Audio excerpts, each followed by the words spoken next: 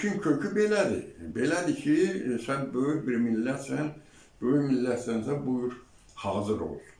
Sən ə, dünyaya çıxmaq istəyirsən, dünyada söz sahibi olmaq istəyirsənsə, hələ bir balaca erməniyə cavab ver görək. Dəyərli izləyicilər, Kanal 13-ün efirindən hər birinizi salamlayıram. Efirdə mən Şamil Emin sizinləyəm. Bugünkü qonağım isə Azərbaycan Xalq Demokrat Partiyasının sədri Rafiq Turabxanoğludur. Rafiq müəllim, xoş gördük sizi. Xoş gördük. Sizin kanala da mənim xüsusi hörmətim var. Həm çoxdan gəlirsiniz, həm də həmişə Azərbaycanın qayda həyatında olmağa, onu xalqa çatdırmağa çalışırsınız. Sizə minnətdaram ki, əziyyət çəkib oradan buraya gəlmisiniz. Təşəkkür edirəm Rafiq müəllim. Rafiq müəllim, e, bu gün e, xəbərləri çox e, acı bir e, təəssüf hissi e, izləməyə məcbur olduq. Bilirsiniz ki, noyabrın 16-sında e, dünən Dövlət Sərhəd Xidmətində Ermənistan çox böyük miqyaslı təxribat törətdi. Azərbaycan ordusu bunun qarşısını alsa da cavab tədbirləri böyük olsa da ancaq 7 nəfər hərbçimiz şəhid olubdu. Yəqin ki məlumatınız var bundan ki Rusiya Müdafiə naziri Şoyqu Azərbaycan və Ermənistan müdafiə nazirlərinə telefon zəngindən sonra, onun təlimatından sonra atəşkəs elan olundu. Bilirsiniz ki, e, biz 30 ilə yaxın müddət ərzində Qarabağda gedən erməni təxribatları baş verdikcə e, daima atəşkəs e, elan edildi xəbərlərini eşidirdik. Bu gün bu yenidən təkrar olundu. Bu hadisə xalqımız üçün çox böyük kədər doğurur. Sizdə bir ziyalı olaraq, bir partiya sədri olaraq hansı hissləri, hansı təəssüratları oyatdı ki, biz bu atəşkəsi nə qədər izləməyə davam etməliyik? Bu elə bir məsələdir ki, bunun kökü çox dərinə gedir. Mən bu yaxınlarda Azərbaycan prezidentinə bir belə müraciət xarakterli bir məktub göndərmişdim ki, Azərbaycanda ümumiyyətlə 20-ci əsrin panoramını, dioramla qoşmaq olar bura. Bu həmişə Ermənistanın, erməni milləti ilə bağlı olub. Yəni işin kökü elədir ki, onu da elə orada da qeyd eləmişdim ki, bizim çox görkəmli sənətkarımız, mənim çox sevdiyim Cəfər Cabbarlı 1905-ci piyesində bu məsələnin demək olar ki, poetik hissəsini e, yaradıb. Ondan da sonra gəlir o romantik devir, onda da elə həmin məktubda da yazmışdım ki, e, bu e, Cavidin ölmə sənətkarımızın iblis əsəri əsas ola bilər və incəsənət sahiblərimiz belə bir panoram Azərbaycanda yaratsa, həm gələn qonaqlar düzgün anlayar ki, söhbət nədən gedir. Həm də xalqımız hazır olar ki, bizim başımıza nə bəlğalar gəlməlidir. Yəni Azərbaycan böyük bir strateji əhəmiyyəti olan ərazidədir. Bu get-gedə sərbəstləşə bilər. Devlət statusuna, yəni biri var, elə belə dövlət deyirlər, yəni azsaylı xalqların statusunda olan dövlət. Biri də var, yəni doğrudan böyük dövlət olmaq şansı var. Və burada səy edilir. Bunun da qarşısını almaq üçün erməni gətiriblər, düzəldiblər orada. Bunun kökün hamı bilir. Yəni bu işi bizim xalqımız bilməlidir ki, həmişə bunu gözləyir. Çünki bir tərəfində Fars məkri var. Bir tərəfində Rus adında çoxlu xalqların, Türkiyə düşman olan xalqların rəhbərliyidir. Yəni onları təşkil eləyiblər, gəlib bütün 20-ci əsr boyu və bu gün də o proses gedir. Bizdə də məsələn heç vaxt gözləmirdilər ki, doğrudan belə ciddi müqavimət göstərə bilərik. Mən e, erməni söhbətinin bütün kökü e, erməninin İşmədin deyən e, bir kilsəsi var və o kilsədə e, bunun epsentri oradadır ki, Bu da indi bizi bir xalq kimi buradan qovalamaq, hətta mən sizi inandırıram ki, onun onların o konsepsiyasında var ki, ümumiyyətlə biraz da müsəlman adında qoşublar ora, türkləri Xəzərdən o tərəfə keçirmək, Orta Asiyaya keçirmək və buranı nə bilim nə etmək. Onlar yəni bunun kökü oradan gəlir. Atəşkəs nə olur olsun, bir 51% şansı olsa beynəlxalq oyunlarda hiss eləsələr ki, o İçməddinin oturana hiss eləsə ki, oynamaq lazımdır, oynayacaqlar. Və elə 92-ci, 93-cü illərdə bunlar açıq deyirdi ki, Kürdən bu tərəfi boşaltın. Yəni bunlar məqsədli e, buradadılar. Və məqsəddə e, qurbanlığı olmalıdır e, təbii ki biz. İndi bunun qarşısı alınır. Bir itki olur, adam ürəyi ağrıyır, e, müharibə eləmək asan deyil qarşı durmaq asan deyil, elə təkcə psixoloji baxımdan, hələ o bir şey demirəm, bir ya bir prezident kimi, ya bir rəhbər kimi bu işə qol qoymaq böyük hünər istəyir, açığını deyək. Bu da gedir, bu da həmişə Azərbaycanda olmalıdır. Təbii ki, bugün şəhid olanlarımız, yaralanlarımız bu havalarda heç çölə çıxa bilmirik, su yoxdur. O dağlarda əziyyət çəkən balalarımız üçün çox ürəyim ağrıyır, bəlkə bundan çox ağrıyır. Amma o işin kökün bildiyimə də görə, yəni bu nədiyini bildiyimə görə başa düşürəm ki, ya səbr eləməlisən, ya da buradan köçüb getməlisən Uraldan o tərəfə. Yəni belə bir dilema qarşısındayıq. İndi hələ biz indin əmələ gəlirik. İndi gör bu Türkiyənin başı nələr çəkir. Yəni bu e, erməninin özünə qalsa, erməninin Qafqazda nə işi var?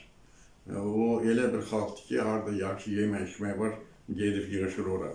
Bunu da çox mükəmməl qruplar. Hələ mən o Sovet devri biraz e, elə gətirmişdi ki, talihim siyasətlə maraqlanan adam olmuşam. Mən Hikmətdinə getmişdim. Getdim orada belə deyirlər adına kişi monastırı. Getmişəm mən baxıram burada ağırlı başlı hazırlıq gedir, qəzet çıxardırlar. Sonra ayrı dron aeroportları var. O vazgeçdə nə edir, oturur, uçur xaricə istədiyi vaxt. Hansı ki mən tələbə vaxtı gedib Bu biraz distansı var idi, İrana yaxınıdır. Oradan düşüb getməyə gərək bir neçə dokumentim olaydı. Yəni bu işin kökü kökünü hamımız gözləməliyik. Hamımız həmişə bilməliyik ki, belədir. Mən məsələn bir insan olaraq, bir siyasət adamı olaraq alqışlayıram ki, bunun qarşısına durulur. İstər ordumuz, istər cəmaatımız, istər rəhbərlik, indi e, təbii ki, e, adam inciyir, küsür, öyle şeyler var, daha gəlmizən lift işləmir. Bu adam, yəni incimək üçün mövzu çoxdur. Amma işin kökü belədir. Belədir ki, e, sən böyük bir millətsən, böyük millətsənsə buyur, hazır ol. Sən e, dünyaya çıxmaq istəyirsən, dünyada söz sahibi olmaq istəyirsənsə, hələ bir bu balaca erməniyə cavab ver görək. Yəni mən buna belə baxıram. Və istəyərəm də ki, istəyərəm də ki, bir avasitə siyasətlə məşğul olan həmişə bu faktoru nəzərə alsınlar. Rafiq müəllim, e, günü bu gündə ermənilərin təxribatı e, məlum olduğu kimi davam edir, ancaq Azərbaycan e, hökuməti, Azərbaycan rəsmiləri daima erməniləri sülhə səsləyirlər, çağırışlar edirlər. Elə bu günlərdə Azərbaycanın BMT-dəki nümayəndəsi Yaşar Əliyev də erməniləri sülhə səsləyib, çağırışlar edib. Ancaq e, göründüyü kimi ermənilər bu çağırışlara əhəmiyyət vermirlər. Sizcə beyni zəhərlənmiş erməni xalqı bu çağırışlara əhəmiyyət vermirsə, eyni zamanda Ermənistan siyasi rəhbərliyi buna adekvat cavab vermirsə, ermənilər sülh sazişini imzalayacaqmı? Məsələnin bir tərəfidir. Yəni mən bayaq da qeyd elədim. Bəli, beynəlxalq şərait, beynəlxalq siyasət də onların o İşməddin dediyim yığılan o toplum, erməni toplumu görsələr ki, imkan var, yox. Amma e, məsələn mən bir şəxsən bir e, Türkiyə evladı olaraq, bir Azərbaycan vətəndaşı olaraq Mənim özümə də e, qəribə gəlir ki, erməni kimdir? Yəni bir insan olaraq kimdir məndən düşmən olar? Yəni erməni heç vaxt bizə bizim düşmən saya biləcəyimiz e, varlıq deyil. Sadəcə olaraq mənə belə gəlir ki, bizim də o sülh çağırışı eləyənlərimiz hardasa o faktordan ə, e, yararlanır. Yəni başa düşür ki, bu ermənisən, ol da yaşa Azərbaycan tək günlərdə istəyirsən işlər. Elə onsuz da əvvəllər də harda yemək yeri vardı, sizə deyim. Yəni bu biraz bizim psixologiyamızda, dünya görüşümüzdə bir türk milləti kimi cılız bir söhbətdir. Bəli, Türk üçün düşmən ola bilər. Düşmən ola bilər İngilis, Fransız, Alman, Slavyan, Ərəb, Hind, Çin, da erməni e, sənə düşməndir, bunu hər bir türk e, ciddi qəbul eləmir psixoloji olaraq. Amma bundan da biraz aralanıb anlamaq lazımdır ki, bunların da arxasında bizə düşmən ola bilənlər durub e, bunları atır qabağa. Elə məsələ ondadır, Rafiq. Bəli, bu elə bir ciddi söhbətdir. İndi adama deyərlər çıxart dokument qoy ortaya. Həmən hardan dokument alın? O işi görənlər də elə görmür ki, hansısa bir e, dokument verə adamla e, gedə çıxış eləyə. Yəni bunu biz e, hardasa elə götürək ki, öz aramızda söhbət eləyirik ki, erməni psixoloji olaraq bir güc deyil türk üçün. Və belə gəlir ki, məhz bizim o sülh çağırış eləyənlərimiz o illərdə yəni o konsepsiyadan, o ə, zirvədən yanaşırlar ki, onda sən axı Erməniyə devlət nə lazımdır? İndi bir çoxlar orada bir muhtarlıqdan şey eləyərik, yaşada, yəni... Amma faktiki dövlətləri var. Devlet deyəndə o da devlet deyil. Onlar da bilir, özləri də çox gözəl bilir. Amma onlar istəyir ondan yararlana. İndi dənizdən dənizə belə, bu balaca söhbət deyil. Ki, dünyanın siyasətin hesablayırlar, götür-qoy eləyirlər ki, bəhrələnmək olar. Bəli, erməni xalqını doğrudan bir böyük ərazi sahibi eləmək olar.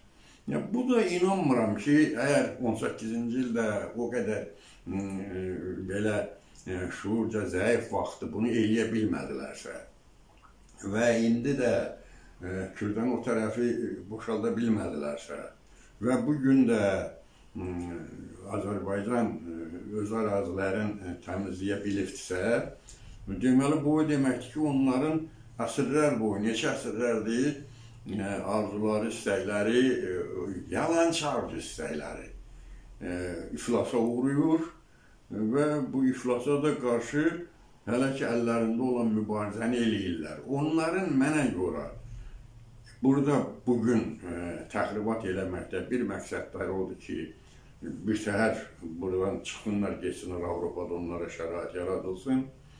Onu da Avropa eləmir. Biraz bəyan eləyən kimi deyir, ya yaxşı, Türkiyəyə tapşırıram, gedin orada yerləşin. Türkiyə də deyir, buyur, gəl, ol, həmişə deyir. Yəni, Türk üçün erməni faktoru olmuyor.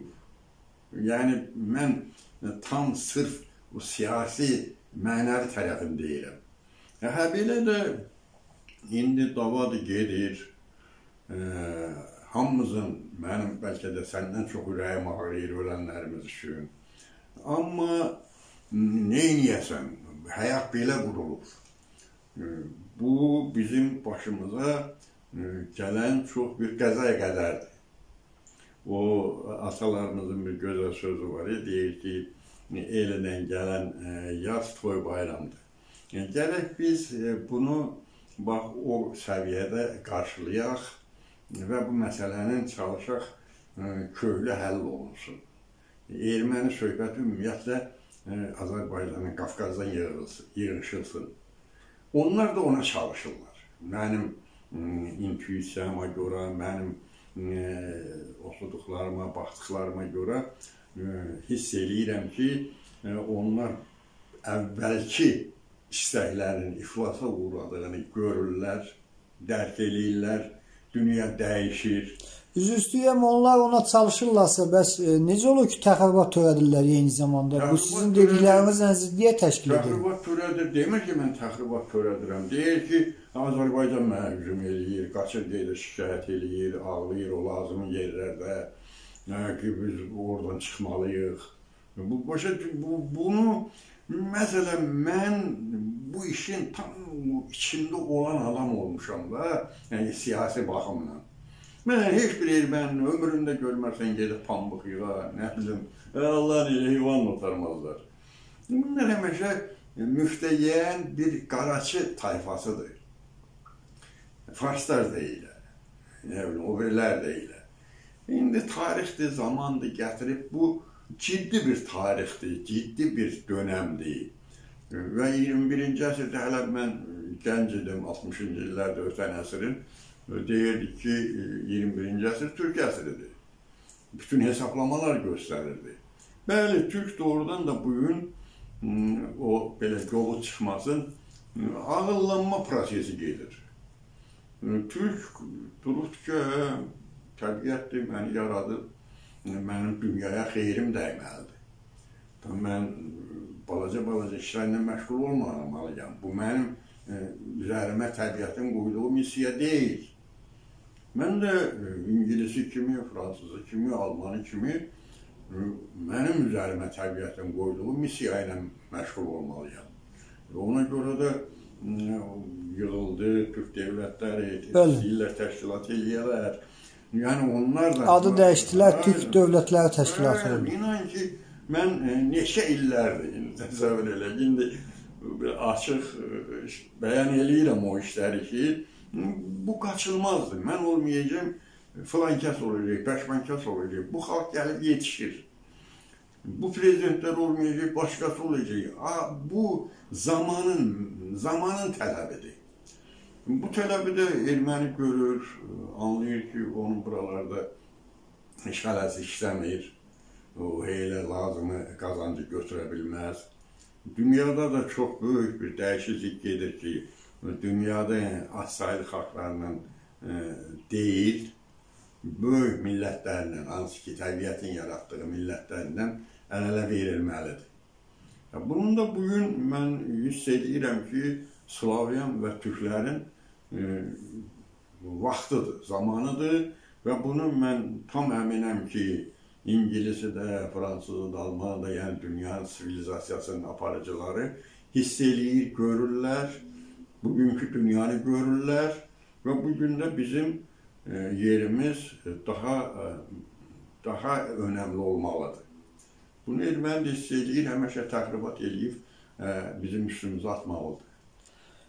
Rafiq müəllim, elə yer gəlmişkən qeyd etdiniz, noyabrın 12-sində İstanbulda bu Türk Dövlətləri Təşkilatı Hı yarandı. Əvvəlki Türk Şurası adını dəyişdi. Bu e, erməni təxribatlarının türk dövlətlərinin e, birliyinə e, qarşı bir olması ilə əlaqəsi varmı ki, yəni bu həmin bu tədbirlə bir bağlılığı əlaqəsi varmı ki, artıq türk dövlətləri dünyaya bir birlik formasında ortaya çıxırlar? Bəli, onların ümumiyyətlə bizi istəməyənlərin həmişə ən böyük silahı bizim dünyaya biraz avvam kimi baxmağımız olur. Bu da prezident, yəni dövlət olaraq toplaşmaq, bir yerdə problemi qoymaq e, və bu problemi həll eləmək, həll eləməyə çalışmaq. Biri var hansısa partiya, ictimai təşkilat eləyə. Biri də var sənin də tanıdığın, yəni dünyanın tanıdığı dövlətlərdir. İndi biz öz aramızda deyə bilərik ki, bizim gücümüz o şəkildə deyil, amma bu gün deyil.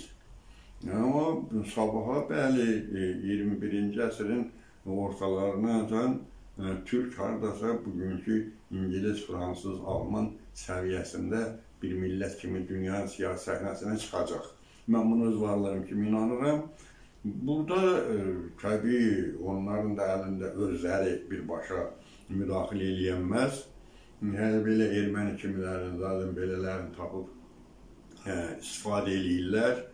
Buna da istifadə eləyirlər deyəndə kimi nəzərdə tutursunuz? Rusiyanı nəzərdə tutursunuz ki, bu bölüyə mane olmaq istəyir, ermənidən istifadə edir. Yox, mənə belə gəlir ki, e, bilirsən dünyanın e, elə belə götürək də İngilisi, Fransızı var, Almanı var. Sivilizasiya e, inkişafı baxımından. Onların da içində çoxlu xırda millətlər var. İndi gör e, onlar nə tərdirsə, indi Rusiya böyük bir dövlət idi da, o çarıdı, dağılırdı. Bir gücünün birini apardılar, Stalin gəlsən də olursan. Yəni bu oyunları balacalar qurur. Yəni bu ə, e, arada e, ortada yeyib qıraqda gəzənlər qurur. Onlar da görünür yetirə bilmir. Yəni məntiqi elə qururlar, elə gətirirlər ki, onlar da hələ ki cavab verə bilmir. Amma bu demək deyil ki, e, artıq alınılmır. Məsələn, mən hələ o Trump prezident olanda ki, dünyadan dünyanın demokratiyasının bir dənə mexanizmi vardı. O da terrordur. Yox, bu lazım deyil də dünyaya. Kimlərdən çəkiniriksə, dünyaya ziyan gətirə bilərsə, bunların ağıl səviyyəsi bugün çox yüksəkdir. O cümlədən Türkün. E, Türkün ağıl səviyyəsi yüksəkdirsə, e, Rusiya dövlətinə nə ehtiyac var? Ya e, Fars dövlətinə nə ehtiyac var? Ya erməni burada terror qrupu kimi sağlamağa nə ehtiyac var? Yəni, işin görünməyən çox mükəmməl tərəfləri var.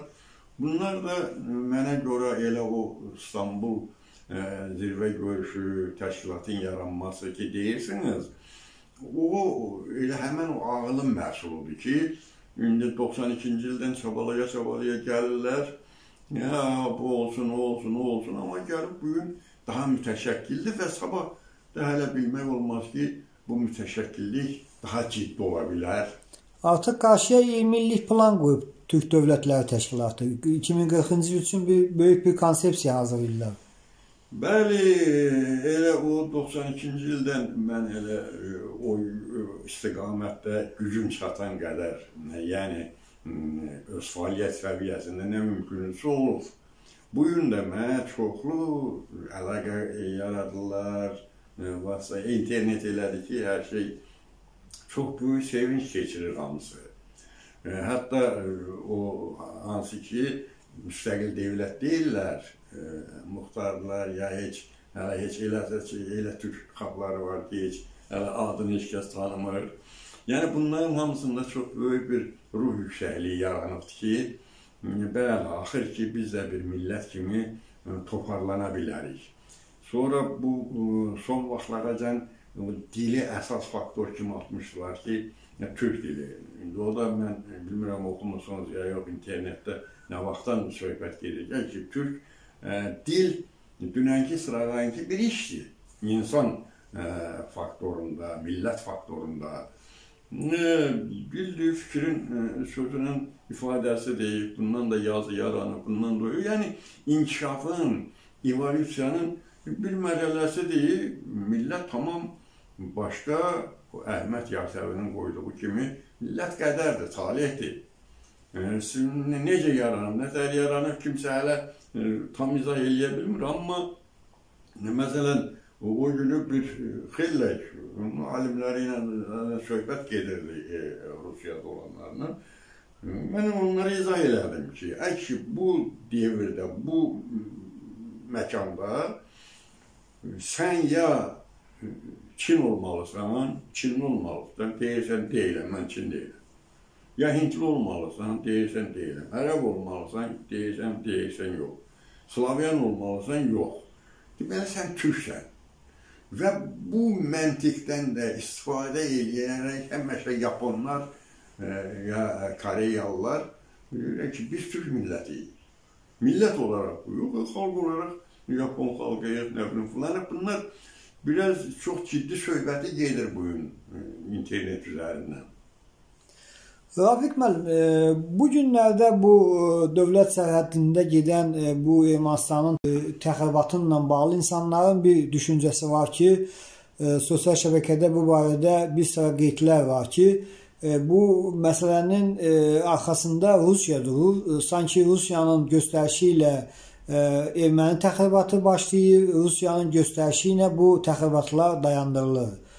Baxın, e, bu halda e, Qarabağda yerləşdirilən e, Rusiya sülh məramları sanki onların da missiyası bir sülh məramlı deyil. Ermənilərin Qarabağa təxribat törətməsinə sanki göz yumurlar. Bu halda onların Qarabağdan çıxarılması gündəmə gətirilməli deyilmi? Bir partiya sədri olaraq da sizin mövqeyinizi bölüşməyi istərdim ki, bunlar Qarabağdan çıxarılmalıdırmı? Bəli, çox düzgün deyirsiniz usul məramlıları da gedib qucağımıza alıb gətirməmişik ora. E, və bizə də lazım deyil. E, yəni bu var, bu reallıq var.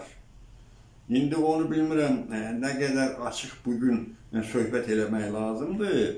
Amma e, bu reallıq Elə ictimaiyyətimiz üçün hər şey açıq olsa yaxşıdır. Yox, o o o, o görürsən o biriləri də e, istifadə eləyir daha mürəkkəb konturlar qururlar. Bəli, bütün bu bölgədə gedən proseslərdə Rusiyada o iş üçün qurulub dövlət şəklinə salınıb.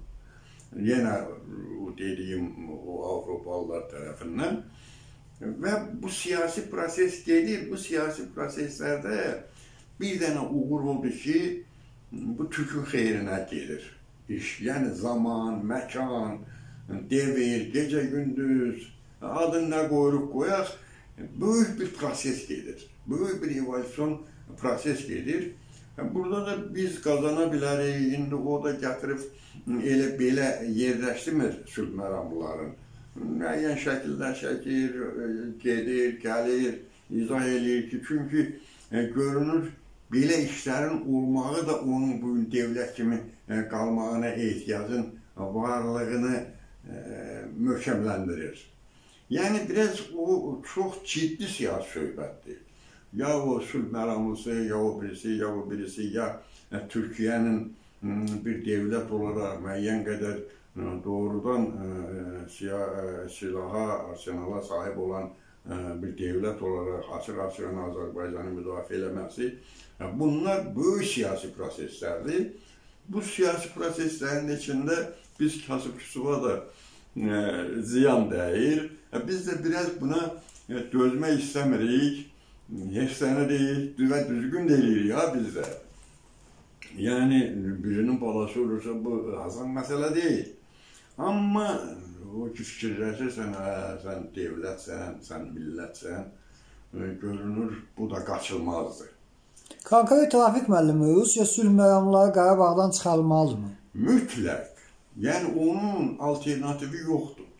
Ümumiyyətlə e, e, elə belə biraz e, bəsit çıxmasın. Şeyx Kamildən bəri e, yalvarışırıq, qışqırışırıq, dalaşırıq, gələ dolda buradan.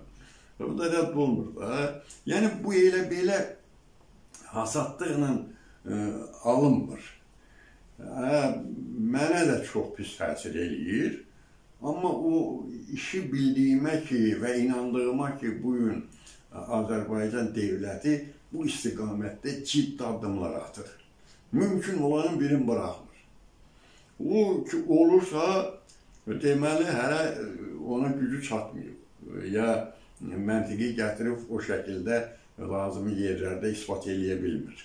Bəli, bunlar hamısı e, yaxın gələcəkdə mənə belə gəlir ki, öz həllini tapmalıdır. Azərbaycanın e, çox çiçəkli bir gələcəyi var, görünür. E, heyf ki, balalarımız e, dünyasını dəyişir, silah qarşı durması olur. Bizə lazım olmayan şeydir. Amma ə, reallıq da belədir ki, barışmalıyıq. E, görürsən, məsələn, hələ onunla da ə, yenə gənclərimiz, düz biz doğrudan ə, müharibə edən xalqıq, eləmək istəyən xalqıq. Amma günahkara qarşı. E, o da görünür, bu da öz həllini tapar. Mən ə, çox inanıram ki, yaxın bir gələcəkdə Azərbaycan-Ermənistan söhbəti bir yolluq tarixin arxivına atılacaq. Çox sağ olun, mən təşəkkür edirəm. Sağ olun.